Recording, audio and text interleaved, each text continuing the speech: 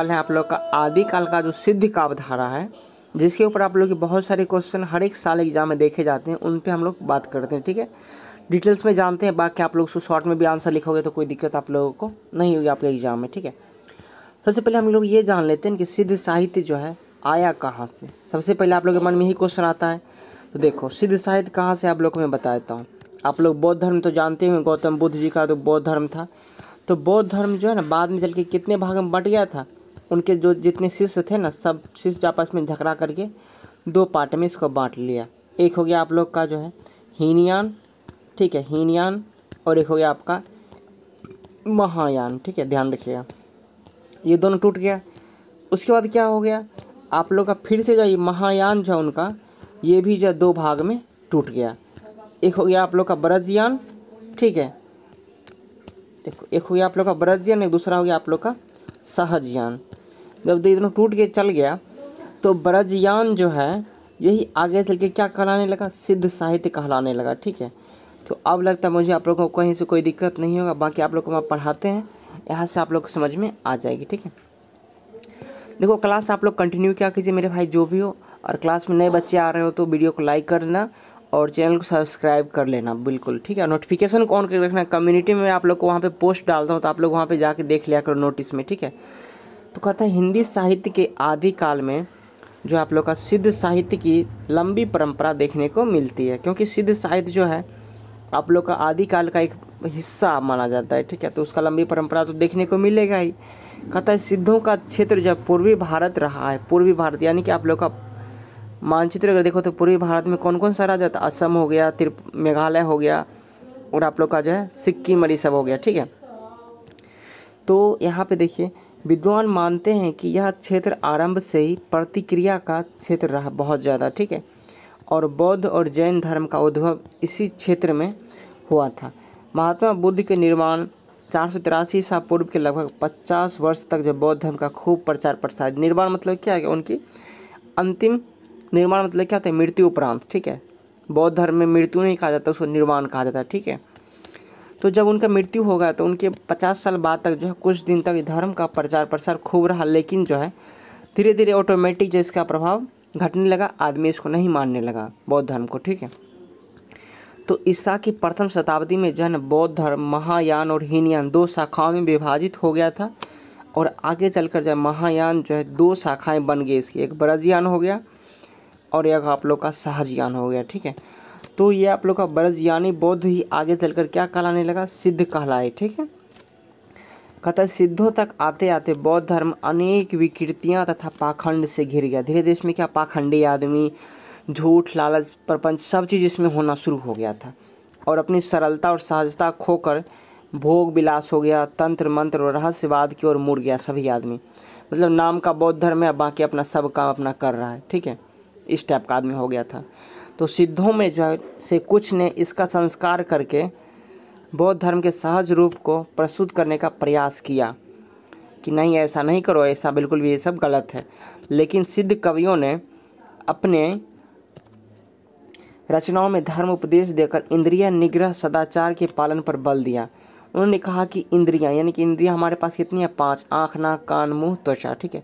अगर इसके ऊपर हम लोग कब्जा कर लेते हैं तो हम जो अपने लाइफ में सबसे ऊपर उत्कर्ष पे पहुँच सकते हैं, ठीक है? है, सिद्ध नियम और संयम पर बल देते थे। सिद्ध जो है, वो नियम पर और संयम पर बहुत ज़्यादा बल देते थे कि इस पर हम लोग को अडिग रहना चाहिए और इन्हीं के माध्यम से व्यक्ति और समाज को नियमित करना चाहते थे। वो चाहते थे कि आदमी जो हमेशा एक शेड्यूल में रहे, नियम, नियमित चले और संयम बनाए रखे, सहजता से एक दूसरे से बात करे, अच्छे से रहे। और वो चाहते समाज में कि इसी तरह से आदमी रहे तो अच्छा रहेगा, ठीक है? इस भाषा में अर्थ का एक हरा धरातल नहीं है। यानी कि इसका मतलब एक धरातल में आप लोग को बोले जाए तो इसका अर्थ धरातल में नहीं माना जाता है, क्योंकि इसका पालन बहुत ही हार्ड होता है। सभी आदमी इसका पालन नहीं कर सकता है, ठीक है? कथक काव्यार्थ के अनेक आयाम दिए गए हैं। सिद्धों की रचना भाषा, संध्या भाषा थी। सिद्धों की जो रचना भाषा थी, रचना लिखने का जो भाषा था, किस भाषा में लिखते थे? तो संध्या भाषा थी, ठीक है? इसलिए कुछ जगहों पर सिद्धों की परिभाषा मुश्किल में भी डालती है तो आप लोग को वहाँ पे ध्यान रखना है, ठीक है? कहता है, डॉक्टर राजकुमार वर्मा ने कहा है कि सिद्ध साहित्य का महत्व इस बात में बहुत उपयोगी अधिक है कि उससे हमारे साहित्यिक रूप की सामग्री, जैसे कि प्रमाणिक ढंग से प्राप्त होती है और चारणकालीन साहित्य तो मात्र तत्कालीन राजनीतिक जीवन की प्रतिच्छाया ही है। अगर कहता है कि हम लोग को साहित्यिक जीवन अगर देखना है तो हमको किसको देखना चाहिए? सिद्ध साहित्य को, ठीक है? और चारणकालीन में अगर देखें तो सिर्फ़ उसमें क्या चीज़ है राजनीतिक जीवन। हम लोग का राजनीतिक जीवन कैसा था? प्राचीन काल में वो दिया गया है, ठीक? कहता है, ऐसे सिद्ध साहित्य में शताब्दियों से आने वाली धार्मिक और सांस्कृतिक विचारधारा का स्पष्ट उल्लेख जो है है। और आगे देखिए, भाषा विज्ञान की दृष्टि से भी यह साहित्य का एक महत्वपूर्ण काल है, चारण काल, ठीक है? कथा है कि रासो चारण काव्य हैं। रासो जो है, वो चारण काल के एक बहुत ही अच्छे काव्य हैं, कीर्ति लिखने वाले। कथा है कि इसमें, देखिए, रासो आप लोग का क्या, एक हेडिंग हो गया ठीक है? रासो चारण काव्य एक बहुत ही अच्छा फ़ेमस उस समय का चीज़ है, ठीक है? काव्य कीर्ति में। तो इसमें जो है, आदिकालीन राजनीति के घात, प्रतिघात, जबकि सिद्ध काव्य धारा में सामान्य जन को गहरे प्रभावित करने वाला आध्यात्मिक विमर्श मिलता है। देखिए आप लोग को यहाँ पर ध्यान रखना है कि आप लोग का सिद्ध साहित्य से क्या मिलता है? आप लोग का आध्यात्मिक जीवन की ज़िंदगी हम कैसे गुजारेंगे समाज में रह के? और वहीं आप लोग का जो है, चारण काल में जो है आप लोग को क्या मिलता है? उसमें आप लोग को दुश्मनी करना, राजनीति में चापलूसी करना, ये सब मिलता है आप लोगों को चारण काल में। आगे देखिए, कहता है कि सिद्धों की संख्या जो कितनी है? चौरासी है और सरहपा इस काव्य धारा के प्रमुख कवि हैं। सिद्धों में सबसे प्रमुख कवि कौन है? सरहपा, ठीक है? ये सिद्ध साहित्य के अग्रणीय मतलब बहुत आगे, सबसे आगे सिद्ध साहित्य में। राहुल सांकृत्यायन ने इनके समय संबत सौ सत्रह माना है, ठीक है, संबत। क्योंकि पहले ज़माने में ईस्वी नहीं था, उससे भी पहले क्या संबत था, ठीक है? कहता इन्होंने बत्तीस ग्रंथ लिखे और परंतु इनकी कीर्ति का आधार स्तंभ दोहा कोश था, और इनकी कीर्ति यानी कि लिखने का जो स्टाइल था, वो किसमें दोहा टाइप में लिखते थे, ठीक है? कहानी टाइप में बिल्कुल भी नहीं। इन्होंने रूढ़िग्रस्त बौद्ध धर्म का खंडन करके सहज साधना का प्रचार किया। इन्होंने देखा कि इसमें कुछ पाखंडी आदमी आ गए। उन सभी को जो है खंडन करके, हटा के सहज साधना, यानी कि अच्छी प्रकार से जो साधना हम लोग किस तरह से करेंगे तो मन शांत रहेगा, अपने ज्ञानेंद्र पे कैसे हम काबू पा सकते हैं, इन सब चीज़ों के बारे में उन्होंने अच्छे से लिखा है, ठीक है? इन्होंने अपने विचार में जो है दोहों और चार्य गीतों में व्यक्त किया। उन्होंने अपना विचार जो है दोहा में और चार गीतों में प्रकार से व्यक्त किया सारा चीज़ को, ठीक? इनकी भाषा जो है पाखंडों का खंडन करने वाली है और इनकी भाषा हमेशा क्या रही है? पाखंडों का जो है हमेशा खंडन करने का काम किया ठीक है? कि इनकी भाषा जो पाखंडों का खंडन करने वाली और इनकी भाषा जो है हमेशा पाखंडों का खंडन करने का काम करती है मतलब ऐसा उन्होंने उसमें लिखा है, ठीक है? अपने काल के क्रांतिकारी कवि थे, इन्होंने अपनी सरल भाषा में मुहावरों और लोकतियों का भी प्रयोग किया है। कौन अपने समय के क्रांतिकारी कवि थे? सर हपा ठीक है, आप लोग को ये ध्यान रखना है। आगे देखिए। कहता है कि सिद्ध जो है, खंडन, मंडन की प्रवृत्तियों के साहित्य में जो है, खंडन, मंडन प्रवृत्ति दिखाई देती है। इसने आगे चलकर भक्तिकालीन संत कवियों, विशेषकर कबीर को जो प्रभावित किया है। ठीक है? कबीर जी का जितने भी दोहा है, कहाँ से मिलती है तो ये कहीं ना कहीं से संबंधित है। देखा इन्होंने उन्होंने सरपा जी का सारा चीज़ सर, दोहा में हो गया या फिर गीत में हो गया तो उन्होंने भी क्या करते हैं, गोहा, दोहा लिखना शुरू कर दिया। तो डोम्भिया नामक सिद्ध कवि कहता है, एक और सिद्ध कवि कौन है डोम्भिया वो क्या कहते हैं, सो देखिए। कि गंगा जमुना माझेरे बाहर नाई साही बुडिली भाग पोर ली प्यार कराई। यानी कि इसका मतलब ये गंगा यमुना बाहर कहीं, मन के भीतर है सब। गंगा यमुना आप लोग नहाने जाती है, कहीं नहीं, आपके मन के अंदर सारा कुछ। उनमें डूबकर ही भव सागर पार किया जा सकता है और धर्म का दिखावटी स्वरूप इन कवियों के व्यंग प्रभारों से बच नहीं सकता है। कहता है कि आज के समय में आदमी जो है दिखावा करने लगा है, ठीक है, लेकिन वो दिखावा जो आप लोग को रियल लाइफ में आगे बढ़ने में मदद नहीं करेगा। आप लोग को रियल लाइफ मदद वही करेगा जो आप जब अपने मन की गंगा में जब डूबोगे, तभी। अब देखिए। कहता है कि रूढ़ियों आडंबरों का विरोध उन्होंने किया, कविता लिख के, दोहा लिख के। तो कहता है कि इस दौर में जो श्रम संस्कृति के प्रस्तावों में अनेक प्रकार की रूढ़ियाँ और आडंबर प्रचलित थे। दूसरी तरफ़ ब्राह्मणों द्वारा प्रतिपादित वैदिक धर्म भी रूढ़ियों और आडंबरों से ग्रस्त था। उस समय में ब्राह्मणों के द्वारा जो दिया गया था, वैदिक धर्म उसमें भी बहुत ज़्यादा पाखंड था, ठीक है? तो इन कवियों ने इन दोनों को डट कर विरोध किया और यह कवि देख समझ चुके थे कि रूढ़ियों और आडंबर ही धर्म को नष्ट करने वाले कारक है। कहीं ना कहीं सब चीज़ का नष्ट किससे होता है? रूढ़ी से मतलब घिसी पिटी बातों को मानने वाला और पखंड से, ठीक है? उनसे मुक्त होकर इस सच्ची आध्यात्मिक राहत मिलती है हम लोगों को और यह प्रवृत्ति कालीन निर्गुण संत कवियों में भी दिखाई देती है। किस काल के कवियों में भी? प्रवृत्ति कालीन कवि में भी, ठीक है? जो कि निर्गुण हुआ करता था, ठीक है? अब देखिए, सामाजिक जीवन का चित्रण करते हैं तो सिद्ध कवियों ने सामाजिक जीवन में के जो जीवंत चित्र उतारे हैं, उन्होंने भक्तिकालीन काव्य के लिए पृष्ठभूमि का काम किया। कहा जाता है कि सिद्ध कवियों ने जो है सामाजिक जीवन के जो जीवंत चित्र उतारे हैं अपने दोहा में या फिर गीत में, उन्होंने भक्तिकालीन काव्य के लिए पृष्ठभूमि का काम किया। उनके बाद का जो कार्य है कौन भक्तिकालीन आया था तो उसका पृष्ठभूमि क्या होगा? जो पहले समय में बीता, वही तो होगा वहाँ पर तो पृष्ठभूमि का काम किया कौन? आप लोग का जो है सिद्ध कवि वाला, ठीक है? कहता है कि सामाजिक जीवन की स्वच्छता जो है, इन कवियों का मुख्य लक्ष्य है, ठीक है? कहता है कि सिद्ध साहित्य में जातिगत ऊंच नीच तथा वर्ण व्यवस्था को बुरा मानकर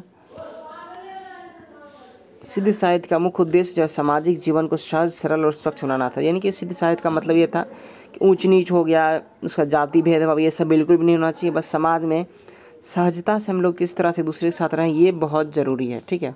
उससे हम लोग को यही संदेश मिलती है, ठीक है? अब देखिए, योग साधना पर बल देना ज़रूरी है, क्योंकि उसी से हम लोग अपने लाइफ के अच्छे मुकाम को पास हासिल कर सकते हैं। कथा सिद्धों ने योग साधना को शरीर एवं बुद्धि की स्वच्छता और विकास के लिए आवश्यक घोषित किया है और आचार विचार के धरातल पर आदिकालीन समाज में भयंकर टूट फूट हुई थी। योग ही जोड़ने का सशक्त माध्यम था। कथा सिद्ध रचनाकारों के अनुसार ब्रह्मांड में जो शिव और शक्ति है, शरीर में वही सहस्त्र और कुंडलिनी है। यानी कि ये कहा जाता है कि हम लोग के शरीर में जितनी भी शक्ति है, वो सब अंदर नहीं है बस हम लोगों को खोजने की देरी है। वो कहाँ से मिलेगा तो साधना से मिलेगा, ठीक है? कहते हैं, सिद्ध रचनाकारों के अनुसार ब्रह्मांड में जो शिव और शक्ति है, शरीर में वही सहस्त्र कुंडलिनी भी है। शरीर के अंदर भी ऑलरेडी है, बस आप लोग को पहचानने की देरी है। कथा सिद्धों के लिए योग साधना ईश्वर का प्राप्ति का साधन है। कथा सिद्धों का जो है, योग साधना का मुख्य लक्ष्य क्या है? ईश्वर की प्राप्ति करना। सिद्धों की यह प्रवृत्ति कबीर आदि निर्गुणोत्पसाक संत कवि में भी दिखाई देती है। कबीर का भी यही माध्यम था साधना करके अपने ईश्वर की प्राप्ति करना, ठीक है? अब देखिए, सज, सहजानंद प्राप्ति पर बल। उसके बाद आप लोग का ज्ञान प्राप्ति पर बल है और इंद्रियाँ संयम पर बल है। उसके बाद आप लोग का ये खत्म हो जाएगा। तो चलिए थोड़ा फास्ट में हम लोग कर लेते हैं, ठीक है? तो सिद्धों का विचार था कि अविधा से मुक्त होना माया के पक्ष से छूटने पर ही व्यक्ति को सहजानंद की प्राप्ति हो सकती है। इससे उन्होंने महासुख की अनुभूति भी कहा, जीवन में सहजता और सरलता को पाना मुश्किल हो चला। यानी कि देखिए, सहजानंद का मतलब ये हो गया कि आप लोग के अपने जीवन में जो है, सरलता से अपने उत्कर्ष को पाल कर ठीक है, पा लेना, ठीक है। कहा जाता है यहाँ पे कि ज़िंदगी में जो है ना, अपनी लाइफ में सबसे ज़्यादा महासुख आपको तभी प्राप्त होगा जब आप अपने ज्ञानेंद्रियों के ऊपर जो है कब्जा कर लेंगे, अपने ज्ञानेंद्रियों को अपने बस में कर लेते हो, ठीक है? हैं चमत्कार और वामाचार के विरोध में खरे प्रतिपक्षी विचार और सिद्ध कवियों की रचनाओं में बिखरे पड़े। हैं ज्ञान प्राप्तियों पर भी बल दिए थे कौन? सिद्ध साहित्य वाले व्यक्तियों ने, ठीक है? कहा कि कन्हपा आदि सिद्ध कवियों ने ज्ञान प्राप्ति पर भी बल दिया। यह किताबी ज्ञान नहीं, साधना परक ईश्वरीय ज्ञान है। इसे कठिन मेहनत करके जीवन को सहजता में जीकर ही हासिल किया जा सकता है। किसको? ज्ञान प्राप्ति को, ठीक है? कहते हैं कि इसके लिए उन्होंने सहस्त्र कमला चक्र हो गया, योग हो गया, इंडा पिंगला हो गया, साधना इत्यादि की चर्चा की। कहा कि अगर आपको लाइफ में जो है सिर्फ़ हासिल करना है क्या सहजता से कोई भी चीज़ को तो आप लोग कठिन मेहनत करके साथ साथ आप लोग को योग हो गया, इंडा पिंगला, यानी कि सब आप लोग का प्रकार हो गया, ठीक है? जैसे आप लोग का साधना करते हो, योग करते हो सेम उसी प्रकार से आप लोग का ये सब टाइप ऑफ़ योगा हो गया। इस टाइप से आप करके अपनी लाइफ में जो है सहजता से कोई भी चीज़ हासिल कर सकते हैं, ठीक है? उसके बाद इंद्रियाँ, संयम पर बल। उसके बाद आप लोग ये चैप्टर ही खत्म, ठीक है? तो इंद्रियाँ, संयम पर जो बल देना है, उसमें देखिए, सिद्धों में सामाजिक विद्रोह की भावना भी है, लेकिन इन्हें ज्ञान इंद्रियों पर जो है, विशेष चिंतन मनन किया है। सिद्धों ने सहज और स्वाभाविक जीवन को महत्व प्रदान किया। सबसे ज़्यादा किसको? सहज और स्वाभाविक जीवन को। इसलिए उन्हें सहज यानी भी कहा जाता है। सहज यानी किसे कहा जाता है? ध्यान रखिएगा, सिद्ध साहित्य वाले को। वे भोगों को ताज त्याज्य नहीं समझते थे मतलब कुछ नहीं समझते थे भोग विलास को, ठीक है? केवल उनमें लिप्त होने वे ठीक नहीं समझते थे, इसलिए उन्होंने मन को एक मुक्त करने पर अधिक बल दिया। मन को मुक्त करना बहुत ज़रूरी है। मन की इस मुक्ति के लिए सिद्ध कवियों ने व्यवहारिक कारगर उपाय सुझाए हैं क्या? आप लोग का योगासन, ठीक है?